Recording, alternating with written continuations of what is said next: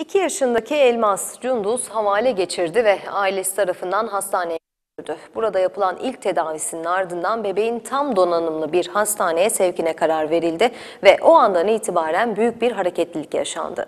Küçük çocuğun Korkuteli ilçesinden Antalya'ya sevki için devreye ambulans helikopter girdi. İşte minik kız için yaşanan o hareketli anlar. Havale geçiren minik kız Antalya'ya sevk edilince devreye hava ambulansı girdi. Antalya'nın Korkuteli ilçesinde havale geçiren 2 yaşındaki bebek hava ambulansıyla Antalya'ya sevk edildi.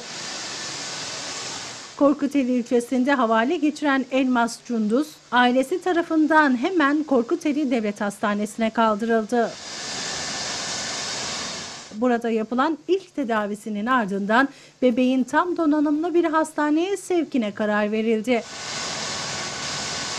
Antalya Akdeniz Üniversitesi Tıp Fakültesi Hastanesi'ne sevk edilmesi kararlaştırılan Binik Elmas için ambulans helikopter devreye girdi.